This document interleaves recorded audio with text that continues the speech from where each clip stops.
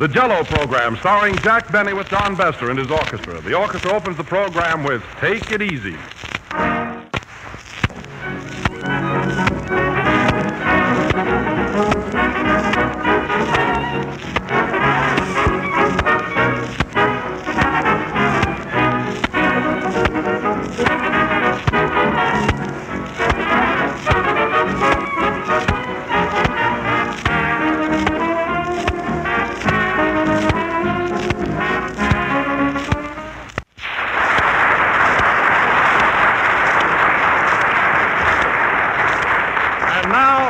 And gentlemen, I present to you that wizard of mirth and wit, that gentleman of gentlemen, I see. a man who is a credit to his community, loved and honored by all, Mr. Jack Benny. I get it. I get it. Wilson's not fooling me, folks. Christmas is nine days off. he knows what he's doing. Yes, sir. This is a time of year when every rat turns into a lamb until after the holidays. Oh, yeah? Well, it doesn't change me. No, you're still a rat. Well, Jack, the Yuletide spirit keeps me from punching you in the nose. Yes, Don, we must be happy, although I didn't like that last crack. You're right, Jack. We should forgive our enemies and let joy be unrefined. Right now, Don, there's no one in the world that I hate.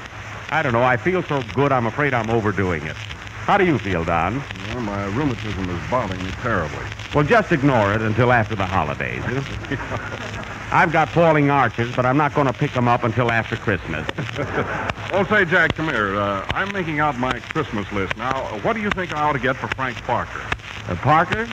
Let's see. Uh, gee, there's a hard guy to pick anything for. Uh, how about a shirt? No, he's got one. Say, uh, I'll tell you what. How about a suit of pajamas? No, not Parker. He wears a nightgown. Oh, he does. Uh, well, then get him a yard of blue ribbon. What are you going to give Parker, Jack? I've got a necktie for him, Don. This Is a nice-looking tie? Sure, the one you gave me last Christmas, remember? Oh, yes.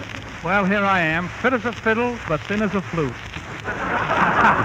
Hey, Parker. Parker, how did you get here so early? Jake sent me. Oh, Say, Jack, I'm making out a Christmas list. Now, what do you think I ought to get Don Wilson for Christmas? I don't know, Frank. You know, he and I have been pretty good pals. Well, I don't know. How much how much do you want to spend? Oh, about a half a dollar. Oh. Well, just send your pal a telegram. Yeah, well, thanks, Jack. Say, what size shirt does Bestor wear? Bestor? I don't know. I think he wears uh, 12 and a half. Uh, did you buy it yet? Yes, but I got size 17. Well, you've got to allow for shrinking, you know. You can Well, gee, do you think it's going to shrink that much? say the shirt you buy will probably evaporate, you know. oh, you're here too, huh? Mary, what's killing you? Oh, well, humor never cease. Uh, Listen, Jack, why does Santa Claus wear a black suit? but he doesn't, Mary. He wears a red suit. I mean, after he gets down the chimney. Oh, I see. Uh, what's the answer? That's it, the chimney, you dope. Mary, where do you get those jokes every week? Jake sends them. Oh. Listen, don't bother me for a while, Jack. I've got to make out my Christmas list. Oh, yeah? Who's on your list, Mary? All the boys in this program. Listen, Jack, I want to get a shirt for Wilson. What size, size shirt do you wear? Well, I wear a 15. What's that got to do with Wilson? Well, you're always wearing a shirt. Oh, that's right. Get him a 15 then. What are you going to get your father, Mary? Oh, I got him this cigar lighter, but I've got to change it. Why, Mary, that's a beautiful cigar lighter. Why do you have to change it? I just remember he smoked cigarettes. Oh, yes. It would be hard to light a cigarette from a cigar lighter, yes. By the way, Mary, what happened to that gold ring I gave you last Christmas? I never see you wear it. Well, I was afraid to tell you, Jack, I lost it. Oh, that's fine. And you said you take such good care of it. I did. Well, then how did you lose it? The finance company took it. Oh. It's the last time I'll buy anything from that company. You're telling them. Hmm. Oh, Wilson, what do you think I ought to get my mother? She's 64 years old and doesn't like spinach. Here it comes, folks. Get her some Jello in all six delicious flavors, and she'll find it twice as rich as last Christmas. See, that fits right into my budget. Well, now that we got our advertising in, Don Bestor will play a medley from the Music Box Revue. Are you ready, Don? Uh, yes, Jack. But uh, come here a minute, will you? What is it? I was Chris, uh, Christmas shopping all day, and I don't know what to get for Frank Parker. Can you suggest something? Well, how about a cigarette case or a razor? That's it. I'll get him a nice safety razor. No, Don. Get him one of those straight barber's razors. But he's liable to cut himself. That's the idea. See, play, Don. Not as long as they keep wearing those spats. You know what I mean. A man who wears spats is an or a hero. Then again, he may have holes in his socks. Yeah. Well, anyway, Don, I wouldn't hurt your boy's feelings for the world. You know, I used to be a musician myself. Well, I had my own orchestra at the Barrison Theater in Waukegan, Illinois. You did, eh? Yes, sir. And how big was your orchestra? Oh, I had a great bunch, Don. Let's see. There was me. Of course, I was the leader and first fiddle. I see. And we had a fella named Heifetz played second fiddle. I think his I think his name was Jascha. I don't know. then I had a Polish fella at the piano. He had a funny name like Paderewski, something like that. See, Rudy Vallee was my saxophone player. Abe Lyman played drums. And then we had a blues singer, Lily Pons. Well, that was some. What happened to all those people? Oh, they're doing little on the country. they can't seem to get anything steady. Uh, do you still uh, like to play the violin, Jack? Don, once a violin player, always a violin player. You know, every time I hear your boys tune up their fiddles, I feel like an old fire horse when he hears the bell clang. You look like one, too. Mary, who ever heard of a horse playing a fiddle? Uh, what kind of stuff do you play, Jack? Oh, anything. You know, Rubinstein's Stormy Weather or Mendelssohn's Hold That Tiger. Say, do you know what I'd like to do tonight, Don? You see, my dad came on to visit me from Waukegan, and he's up here in the studio watching the program. And I think it'd be kind of nice if I played a violin solo right now. He'd get a big kick out of it. Sure, Jack. Go right ahead. Uh, have one of your boys loan me his fiddle, will you, Don? Certainly. Oh, Spike. Uh, loan Mr. Benny your fiddle. Yes, Mr. Bestor. Mm, Spike. All right. There you are. Uh, thank you. Thank you. Let's see. Wait a minute. Ah, this is a nice tone, too. This is a pretty good fiddle, isn't it? Yes, sir. It has a pedigree. Oh, I suppose Kreisler played on its uncle. Hmm? well, Don, what'll I play? Oh, anything at all, Jack. All right, I'll tell you what I'll do, Don. I'll play uh, If I Had a Million Dollars from the picture I was in. Now, listen to this, Dad. How about a little introduction, Don, huh? Okay. Come on. nice and slow and soft.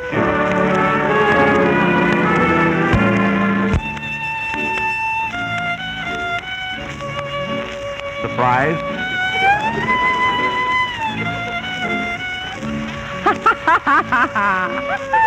Mary.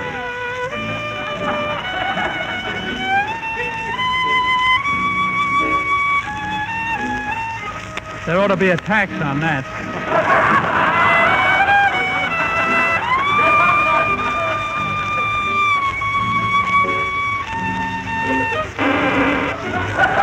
Pedigreed.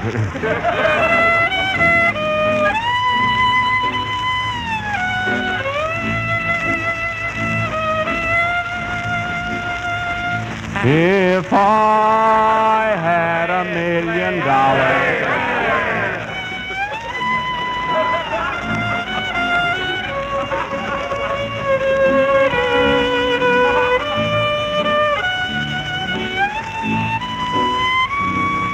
Broken down genius comes to you through the courtesy of Jello with that new extra rich, fresh fruit flavor, and it tastes twice as good as ever before.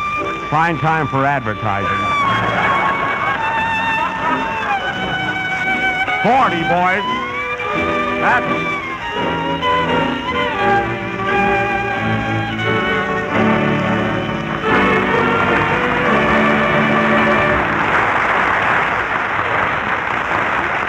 I guess that got him, didn't it, Mary? Huh?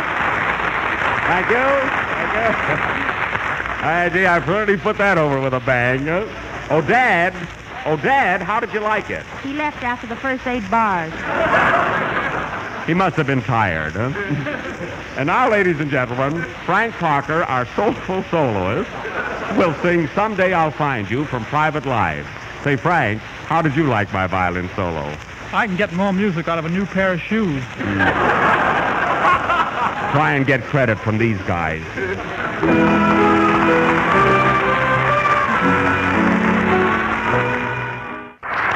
Tonight, folks, we are series of Russian art plays. Last week we gave you Shove, and tonight we are giving you an original drama entitled Russia Through a Keyhole, or The Private Life of the Vulgar Boatman. Or if you can think of a better title, use it. Uh, this little offering will go on immediate the next number, which is A Needle in a Haystack from the motion picture The Gay Divorce. Jack, your father just came back with some foam on his mustache. Mary. Play, Don. Foam on his mustache.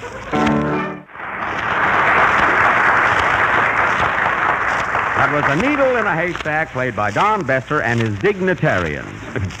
and now for our drama, Russia Through a Keyhole by Ivan Winchell. I will play the part of Boris Benovich, and Mary Livingston will play the part of Olga, my sweetheart. The first scene takes place in the home of Boris Benovich on Tobacco Road in Kishinev,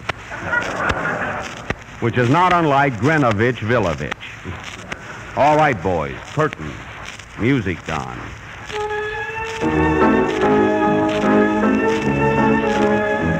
Cha-chanya, cha-chanya, I will phone you. Oh, cha-chanya, oh, cha-chanya.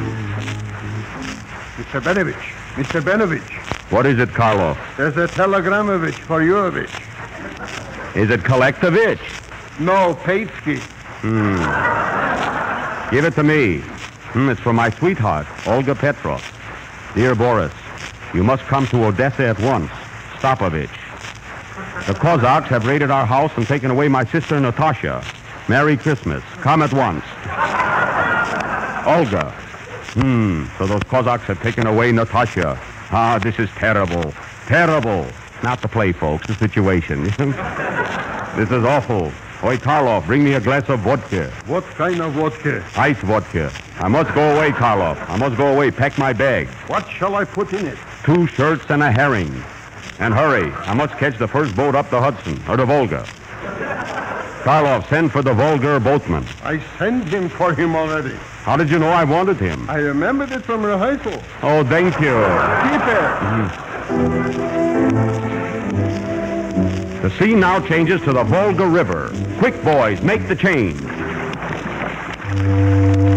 Ah, folks, you should see this river. It's in a pail right here in the studio.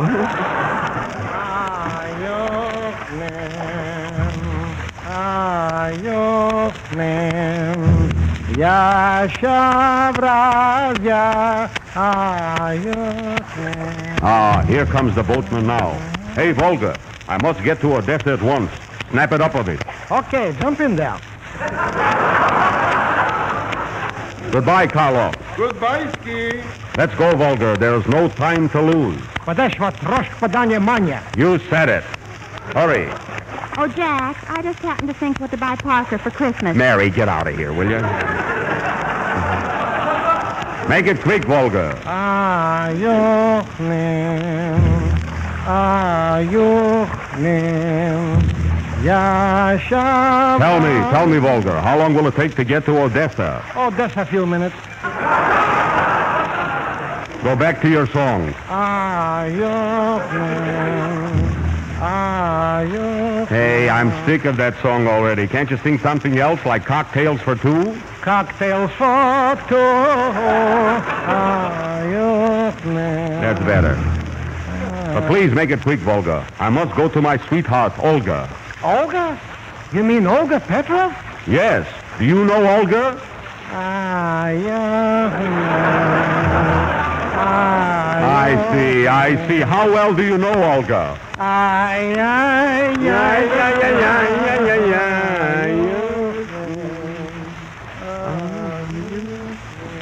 The scene now changes to the home of Olga Petrov on Delancey Boulevard in Odessa.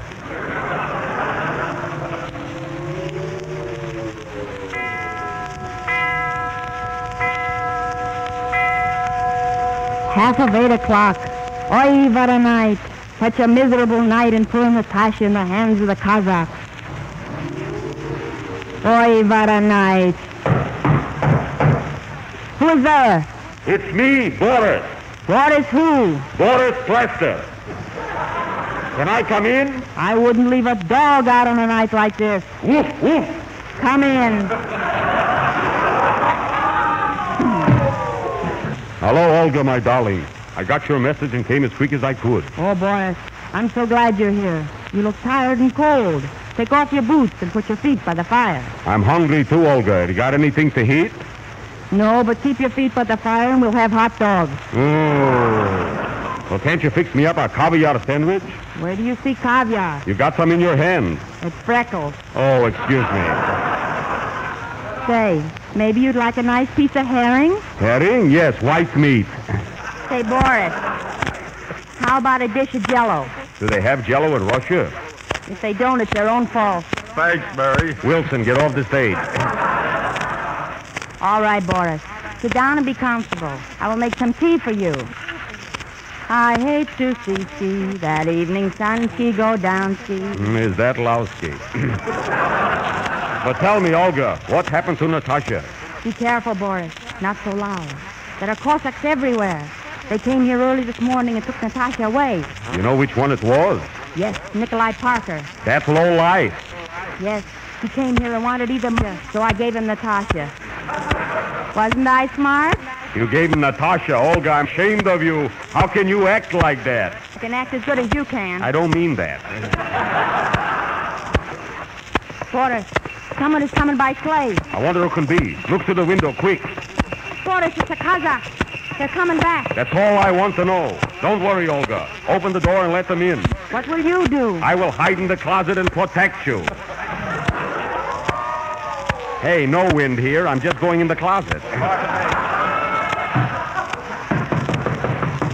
Come in. Who are you? Scarface Parker, chief of the Cossacks. Hmm, a tenor Cossack. And who is your friend? Jello Face Wilson. Well, at least that'll please the sponsor, you know. What do you want now, you brute? You came here this morning and took away my sister Natasha. Isn't that enough, Ski? Not for the two of us. I want a friend for Jello Face. Come on, Babeski, you're coming with us. No, no, no. Forrest, Forrest. Stopsky! Who touches a hair on Olga's head dies like a dog. Who touches a what? A hair. I don't get it. A hair, a hair. What's on your head? It's on my chin now. We're in Russia.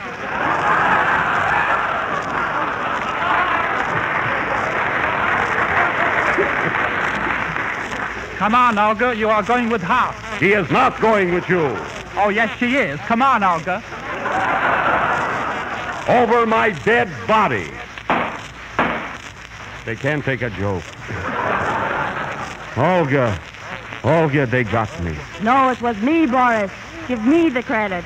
So it was you, my own sweetheart, who shot me. Goodbye, Toots. Come on, boys. Padashka trash, podanie manana. Ah, they all deserted me. Left me here alone to die. Natasha gone. Olga gone. Here I am all alone. Hmm. Who's there? Ah, yeah. Ah, yeah. Olga, Olga, what are you doing here? Jake sent me. Oh, Volga. I'm making out my Christmas list. Size shirt do you got? It's too late now. Take me back to Kishinev. And if I die before I get there, I want you to deliver a message to one of the Cossacks. Which one? The one with the spat. What? What's the message? Get a pencil and paper quick. I'm going fast. All right, all right. What's the message? Uh, Please, please, tell me. What's the message? uh, play, Don.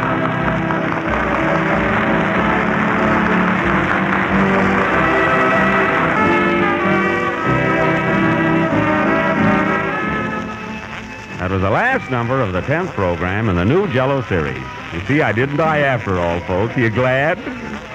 Oh, I almost forgot. Tonight, I want to welcome Minneapolis and St. Paul to our list of stations as they are hearing us for the first time on this series tonight.